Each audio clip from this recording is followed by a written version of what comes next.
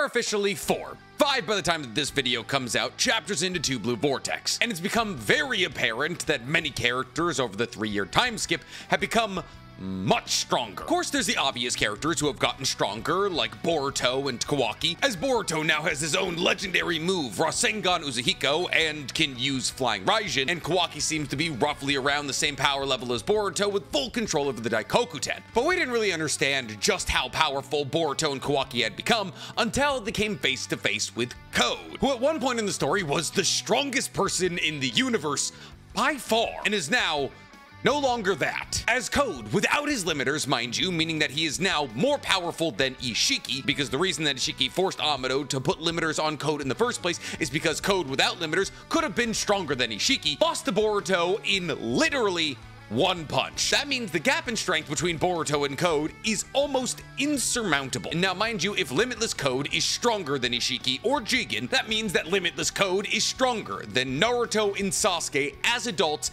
in the peak of their lives. Because Naruto and Sasuke, even though they tried super hard, stood no chance against Jigen slash Ishiki. And it wasn't until Naruto sacrificed Kurama and activated Baryon mode that he was able to even just run the clock out on Ishiki. See, because here's the thing, Baryon mode Naruto was stronger than Ishiki, but only for like three minutes, which means that technically Ishiki was still stronger than Naruto, because if Ishiki didn't have a ticking clock that was very conveniently being shaved down every single time that Naruto punched him, boy oh boy would the world be a fruit. But if Boruto is stronger than Limitless Code, that means that he's way stronger than adult Naruto and adult Sasuke's combined strength. And that is insane to say out loud. And if we're assuming because of the way that stories work that Kawaki is somewhere around that strength, that means that both Boruto and Kawaki respectively are stronger than the combined force of Naruto and Sasuke, which raises the incredibly logical question of, oh, okay, how is anybody else going to remain relevant in this universe? Which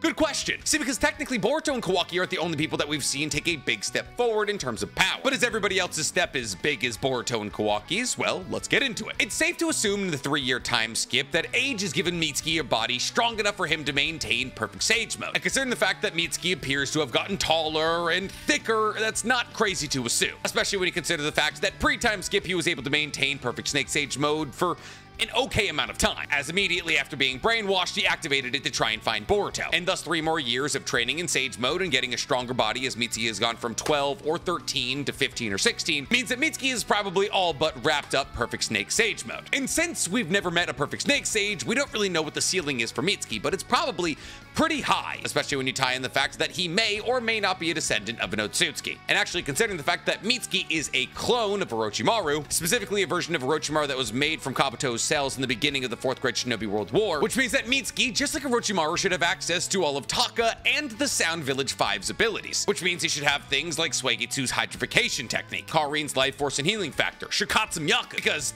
why wouldn't he? If he's a clone of Orochimaru who has all of these abilities, why wouldn't Mitsuki manifest those abilities? Tie that into the fact that once again, he's the perfect Snake Sage, and we have a pretty powerful character on our hands. And while we haven't seen Mitsuki in battle yet, We'll probably get there eventually. On top of this, Team 10 has also appeared to get a little bit stronger, as when the Claw Grimes are invading Konoha, Team 10 is able to sweep in with Himawari and battle them back. And while obviously wiping out Claw Grimes isn't a crazy feat, if we assume that these Claw Grimes are at least Jonin level, it's still pretty impressive. Even Himawari, who wasn't a ninja prior to the time skip, came into battle against the Claw Grimes, and a large section of the first chapter was actually dedicated to showing Himawari training to become a ninja. So really when it comes down to it, all of the main or main-ish characters in Boruto have gotten stronger after the time skip. And really, when it comes down to it, the only person who we have no visual confirmation as to whether or not they've gotten any stronger is Sarada. But I know what you're gonna say. But Nick, Sarada fought off the Claw Grimes just like Team 10 and Himawari. Well, the bar is a lot higher for Sarada than it is for Inojin, as she was not only probably capable of doing that pre-time skip, but is also a dual MS wielder and somehow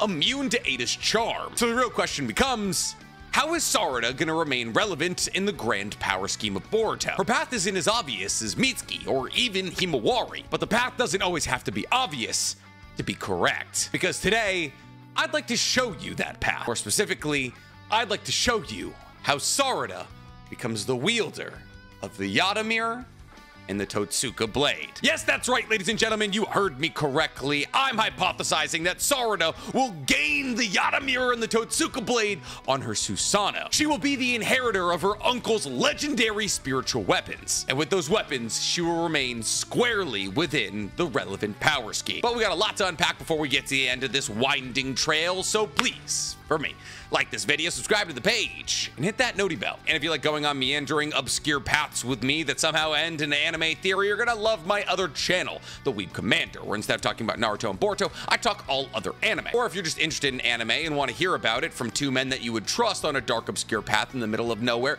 go ahead and listen to my anime podcast, Otaku's Anonymous, where me and Danny Mata break down everything that happened in anime this week. It's available on YouTube, Spotify, and Apple Podcasts. And if you want to dress to impress with that conversation, go ahead and meander on over into my merch store, otakusanonymous.net, where you can pick up some of the greatest anime t-shirts, sweatshirts, and sticker packs known to man. But before we get into all that. Today, we got to talk about one of our favorite recurring sponsors to the page, Buyee. Buyee is a Japanese auction and shopping service. That sounds kind of complicated. Why would you, somebody watching this video in English, need that? Well, have you ever gone to buy something that's inherently Japanese, like a statue or a figurine or a poster or manga, and realize that it's way more expensive than it should be? Well, that's because a lot of Japanese products that are sold in places that aren't Japan are bought by a middleman, and that middleman, upon buying a product, marks up the price and sells it to you. Buyee allows you to cut out that middleman. You cut out that middleman by bidding directly on Japanese products that can get shipped directly to your house. But I know what you're thinking. Japanese website probably means the entire website's in Japanese. And you, with a greater likelihood than not, do not read Japanese. But luckily, you don't have to worry about that because not only is Buyee incredibly easy to use, it's also available in a plethora of different languages. And you don't have to worry about that package not making it to your house because Buyee ships all over the world, like Oceania, Europe, North America, and a ton of other places. And not only do they ship all across the world, they ship using over a dozen different shipping services, meaning that upon checkout, you'll have options. And not only will you have shipping options, but they also accept a myriad of different payment options, allowing you to pay with things like PayPal, Zelle, Alipay. But on top of all of that convenience, Buyee is offering you an incredible campaign today, where when you sign up for Buyee using either the link in my description or the link in my pinned comment, you will get a coupon for 10% off your purchase. On top of that, if you use Mercari, you will get 2,500 yen off your international shipping fee, and three coupons that completely nullify Buyee's service charge. Now, these coupons are available for Mercari first-time users only, and are available between January 12th and January 31st. But these coupons can and should be stacked with that previous 2,000 yen coupon, giving you a total of 4,500 yen off your order. So what are you waiting for? Get your office looking like mine and head to Buyee right now. So Sarada, one of the brightest shining moments of the first 80 chapters of Boruto. Whether it was her cutting down Boro with the Chidori or awakening MS, she was one of the most important characters in Boruto's first half. And now with the coming of Two Blue Vortex, while she has taken a step back in terms of plot importance, the recent revelations of the first half of Boruto mean there's a definite chance that Sarada will play an integral role throughout the duration of Two Blue Vortex. And the two revelations that might set her up to be one of the more important characters in Two Blue Vortex are the awakening of her dual MS and the fact that she's immune to Ada's char. However, when it comes to these two factors about Sarada, we don't have much explanation. See, while we understand why Sarada awoke her MS, that's basically all we understand about her MS. We don't know how it works, we don't know how she's going to be able to use it without going blind, we don't know its abilities, we don't even know if she's tried to train it at all in the last three years. And somewhat surprisingly, we have more of an idea as to why she's immune to Ada's charm than what her MS abilities are. Well, that is to say that we at least have pretty good theories to explain why Sarada would be immune to Ada's charm. Or I guess I should call it Ada's omnipotence. See, because when it comes down to Sarada being immune to Ada's omnipotence, we really have three possible explanations. Either Sarada is immune to Ada's omnipotence because Sasuke received chakra from Hagoromo, and she, now as Sasuke's daughter, has Hagoromo's chakra running through her blood, which makes her enough of an Otsutsuki to be immune to omnipotence. The other possibility is actually a possibility that we painted out very recently on this page, that claimed that during Kaguya's death, as Sakura was the last person to hit Kaguya before she was sealed and then inevitably died through the Six Path Chibaku Tensei, that Kaguya decided to place a karma marking on Sakura. And since karma markings are black triangles, she would be able to place this karma marking under Sakura's Byakuya seal. And thus there's a possibility that Sarada's Otsutsufication actually comes from her mother. But if you're curious about Sakura possibly being a karmic vessel for Kaguya, go ahead and watch that other video. Now, in an ideal world, these two theories would both be correct, and thus Sarada would be Otsutsufied from both sides of her family, which would definitely set her up to be immune to omnipotence. Omnipotence. Honestly, it's like the word aunt. I say omnipotence sometimes, I say omnipotence sometimes. It's aunt, aunt, almond, almond. I never say almond. Who says almond? Now, in the unideal circumstance, Sarada is immune to omnipotence because of a third possible theory, which is that she's unaffected by omnipotence because she has a crush on Boruto, who's an Otsutsuki. Now, unfortunately, when it comes down to these three theories, this theory's got the most data behind it, as there's only two people immune to Ada's omnipotence, and those are Sumire and Sarada, who are both confirmed to have a crush on Boruto. But here's the hoping that it's causation and not correlation. Though, with the way that women are written in the Naruto universe, it is likely. But you know how many theories we have about what Sarada's MS abilities are or what her Susanoo will look like that are actually credible?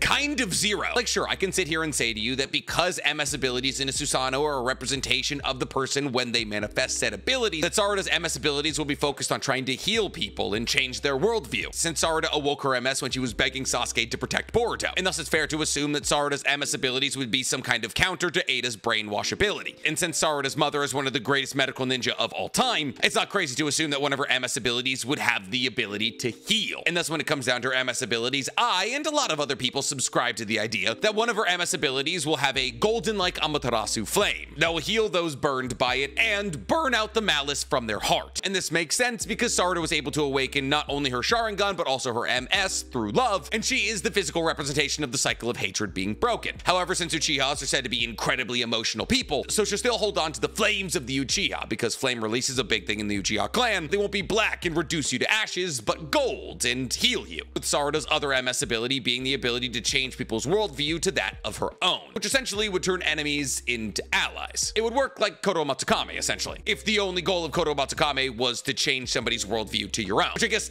technically was kind of the application that Shisui wanted to use it for on Fugaku anyways. And since when it comes down to Uchihas who have awoken their MSs, Sarada is closer to Shisui and Itachi than she is to any other Uchiha in history, kind of makes sense to assume that her MS abilities would be at least tangentially tied to the two of them. Now, if Sarada were to awaken these two MS abilities, she would be pretty powerful. Though these two MS abilities would kind of slot Sarada into more of a support role, which is not ideal, but is looking more likely by the day. Because if Sarada does become a support role, then she's just gonna be a new generation of strong punchy healer. And while I do have one of those strong punchy healers tattooed onto me, I'd prefer something new. The great thing about awakening a dual MS is that you get a lot more than just your MS abilities. You also Get a Susano, which is good because there's absolutely no way in the current Boruto power scheme that just MS abilities would make you relevant. Sasuke with an EMS and a 6-Tomoe Rinnegan was irrelevant in the power scheme of Boruto. Sure, he got some good blows in against Kinshiki and Momoshiki, but as soon as we took a step up to Ishiki slash Jigen,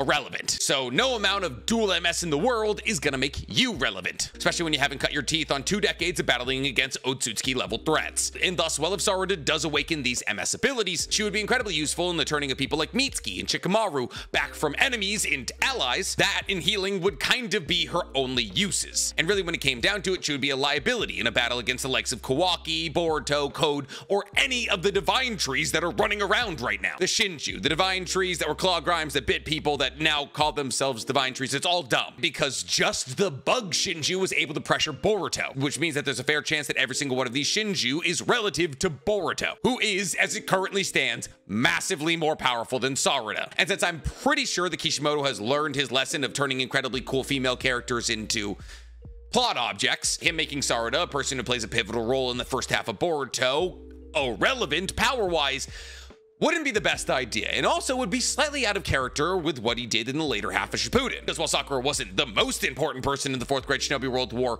she was banging with the big boys. But the real problem for Sarada is that she's simply gonna be outsped by everybody. In fact, when it comes to all of the main characters in Boruto, it's fair to assume that Sarada will be the slowest. Now, I only say this because Sasuke with his EMS and 6-Tomoe Rinnegan could not keep up with the speed of Ishiki. Whether it was Ishiki shrinking himself and flying around or throwing black rods at Sasuke, Sasuke was pretty powerless to it. And Sasuke with a higher level of dojutsu and more practical experience should have a faster reaction time and speed than Sarada, which means that Sarada would need defense. As really when it comes down to it, Sarada awakening the EMS just isn't in the cards. Because as I currently see it, Sasuke is going to be healed and brought back probably better than ever after he gets out of his tree debacle, which means that Sarada needs to use the abilities she already has to remain relevant. And that relevancy is coming from nowhere else but her Susano. See, we already have some current theories about what Sarada's Susano will look like, except that theory is just that I want it to be pink, but I understand that it probably shouldn't be, because pink is my favorite color, but we cannot give the first ever girl Susano the color pink. I mean, we can, and I would love it, but at the same time, the feminist in me is like, bad. And I think that's kind of where everybody is with Sarada Susano color. And unfortunately, there's a really good in-universe explanation as to why Sarada's Susano color would be pink. And that's because the more pure of heart you are, the brighter your Susano is. Which is why Kakashi, inarguably the most pure of heart person to ever awaken a Susano, has such a bright colored Susano. Oh, Nick, what about Itachi? He also had a very bright Susano, and so did Shisui. If you believe that Shisui Susano is canon, which at this point, I don't know, why not? But outside of Pink, do we have any other theories about what Sarada Susano will look like? Well, if Sarada does want to remain relevant, then that Susano better be pretty powerful. Because Sasuke Susano, one of the most powerful Susanos in existence, was nullified in an instant by Jigen not even Ishiki. And thus when it really comes down to. It Sarada Susano was going to have to pack a level of defense that Sasuke's simply did not have. And where do you find defense in a Susano? Well, look nowhere else than the Yata Mirror. So we all know that Itachi Susano came with two weapons, the Sword of Totsuka and the Yata Mirror. However, Itachi Susano also had the ability to fire off something known as Magatama. You know those Tomoe-looking projectiles that he was able to throw? Madara could also use them. And with these three weapons on a Susano, technically Itachi Susano had all three items of the Imperial Regalia of Japan. That is to say that these are three legendary items that are passed down from emperor to emperor. And each one of these three items is meant to represent one of the key parts of being the emperor. That is to say that they're meant to represent the three three foundations of the Japanese populace, which are wisdom, benevolence, and valor. Oh, I'm sorry, I lied. The Sword of Kusanagi is actually the Imperial Regalia. The Sword of Totsuka is the sword that Susano uses to kill the Great White Snake Orochi, which is incredibly relevant when you think about how Itachi killed Orochimaru. But still, Itachi Susano had a legendary sword in two out of the three Imperial Regalia of Japan. And with these three weapons, his Susano, if it was ever completed, would have inarguably been the strongest Susano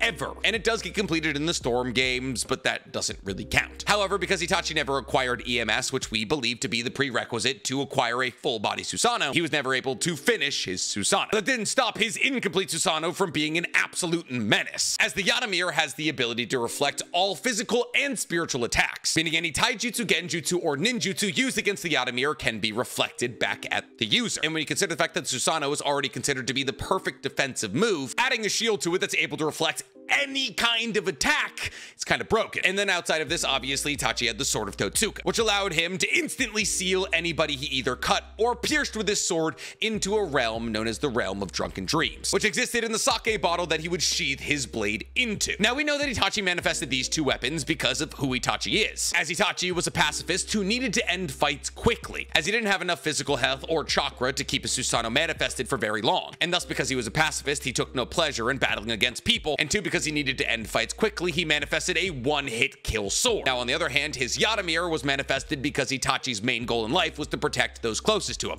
i.e. Sasuke and Konoha, and thus, as a protector, he manifested a shield that could block anything. But what's interesting specifically about Itachi's Totsuka Blade was that it was kind of a mystery. See, here's the thing. Orochimaru had been looking for the Blade of Totsuka for years, if not decades. As well, Orochimaru was the wielder of the Blade of Kusanagi, something said to be able to cut anything, Orochimaru was always chasing after the strongest things on Earth. And Orochimaru believed that the only thing stronger than his blade of Kusanagi was the Totsuka blade. However, Orochimaru didn't realize until it was substantially too late that the Totsuka blade wasn't really a blade at all, but rather a spirit weapon manifested through Itachi Susano. What's weird about this is that Orochimaru was on their path to try and find the Totsuka blade long before they knew that Itachi had it. And in fact, it's safe to assume that anybody who ever saw that Itachi had the Totsuka blade probably didn't live to tell the story. In fact, one could probably extrapolate that Orochimaru was looking for the Totsuka blade long before Itachi even had it, as Orochimaru abandons Konoha a mere couple of months, if not years, after Minato elected the fourth Hokage. And since Orochimaru, from the jump and even before he abandoned Konoha, was in the pursuit of all knowledge, it's safe to assume that by the time he abandoned the village, the Totsuka blade was in his sights. But Orochimaru abandoned the village around the time of Naruto and Sasuke's birth, which means that Itachi wouldn't get his MS, let alone his Susanoo, for at least six to seven years. Or how old was Sasuke when the massacre happened? Like four or five? Still, there's a pretty substantial amount of time between Orochimaru leaving the village and the massacre. And while obviously Itachi doesn't awaken his MS on the night of the massacre, he awakens his MS when he kills Shisui, there's still a good chunk of time there, which means that Orochimaru's knowledge of the Totsuka blade probably isn't tied to Itachi Susanoo, which means that Itachi Susanoo is probably not the first manifestation of the Totsuka blade, as Orochimaru had to be aware that it existed, but also didn't know enough about it to know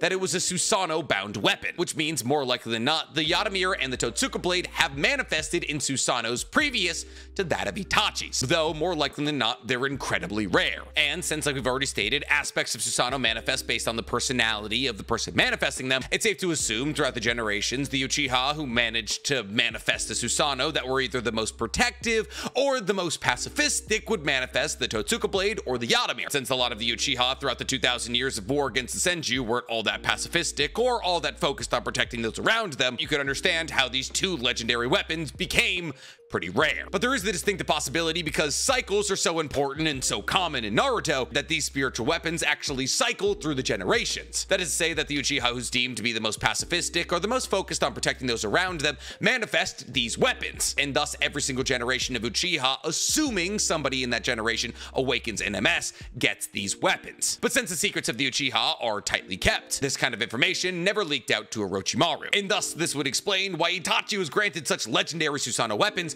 when nobody else was, as these weapons are simply once in a generation. And since the Magatama and the Yatamir are imperial regalia of Japan, and since there's only one set of imperial regalia of Japan, which is passed down from emperor to emperor like a cycle, there more than definitely is not ever two people simultaneously who can use the same technique. But all of these weapons don't necessarily have to be a package deal. See, Madara is also able to wield the Magatama, but Madara dies roughly around Sasuke's birth, which means that Madara dies roughly around when Itachi was 5, which means that Shisui is somewhere around 8 to 9 when Madara dies. Now, since Shisui was the youngest ever person to manifest his MS, manifesting his MS at 7 years old, this means that Shisui manifested his MS before Madara's death, and thus the first person to awaken a dual MS after Madara's death was Itachi. And thus it's a distinctive possibility that the Magatama were passed from Madara to Itachi. Now we know for a fact that Madara didn't have the Yatamir or the Totsuka blade, which is why I'm subscribing to the theory that different weapons can be passed down between different people depending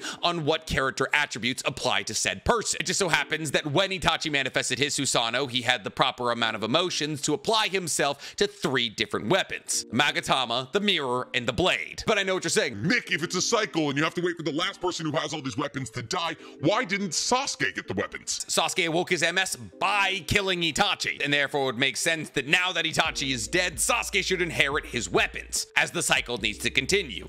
Right? No. Not right. We literally just talked about how your emotional state has to match the values of the Imperial Regalia you would be receiving, and how in any way is Heavy Sasuke living by the virtues of valor, wisdom, and benevolence. You know who does live by those virtues? Sasuke's daughter, Sarada, who is almost a one-to-one copy of Itachi. What do I mean? She's a character split between two worlds, that is Boruto and Konoha, because she's aware of the objective truth of both sides. Kind of like how Itachi was aware of the objective truths of both Konoha and the Uchiha. She has dreams bigger than herself, as almost the entirety of her character is dedicated to protecting those around her. For Itachi, it was Sasuke. For Sarada, it's Boruto. But even though Sarada and Itachi are singularly focused on protecting one person, they're also focused on protecting Konoha as a whole, even if it means painting themselves as the villain or ostracizing themselves. Kind of like how Sarada has ostracized herself from everybody not named Sumire by going on and on and on to everybody who's been brainwashed that Boruto isn't actually evil. Not to mention that now that Sarada has made contact with Boruto, she'll probably act as a spy for Boruto and Kashin Koji for all of the going-ons of Konoha and Kawaki, kind of like how Itachi was a spy against the Uchiha. And thus it would make sense of the two people who have manifested an MS since Itachi's death, that Sarada would be the inheritor of his legendary spiritual weapons. And while technically any Susanoo, regardless of the weapons they're wielding, is considered ninjutsu, and therefore is weak against things like karma markings and Rinnegan palms because they can absorb ninjutsu, it's a possibility that the Yatamir, with its ability to block any spiritual or physical attack, will be able to block even absorption type abilities. Not to mention that Sarada wielding the Totsuka blade would immediately make her relevant in the power scheme of Boruto, because when it comes down to her speed amongst the top ranks of Boruto, she would definitely be lacking, having having a one-hit weapon that's able to seal anybody that comes into contact with it would definitely be a big edge for her. And since Pocket Dimensions just got cool again in Boruto with the Daikokuten, Sarada having a pocket dimension of her own, the Realm of Drunken Dreams, would make a lot of sense narratively. And since there's already been plenty of lines drawn between Itachi and Sarada down to the way that they dressed, genuinely is not the craziest way to keep Sarada relevant in Boruto's power scheme. But what do you guys think? Do you believe that Sarada has a possibility of manifesting Itachi's weapons? Tell me in the comments below. And while you guys are down there, please, for me, like this video, subscribe to the page, and hit that noti bell. Does Nick just want more opportunities to talk about the Totsuka Blade? Maybe.